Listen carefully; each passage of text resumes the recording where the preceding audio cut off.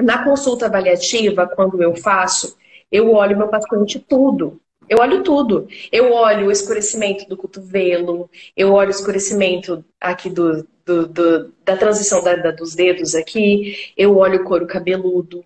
É necessário você revirar o seu paciente pelo avesso, porque toda a informação que o corpo dele te traz é uma forma de você buscar a raiz do problema dele. Então, tudo é interessante. Se há mancha no pescoço, tudo nos mostra onde nós vamos buscar a raiz do problema dele.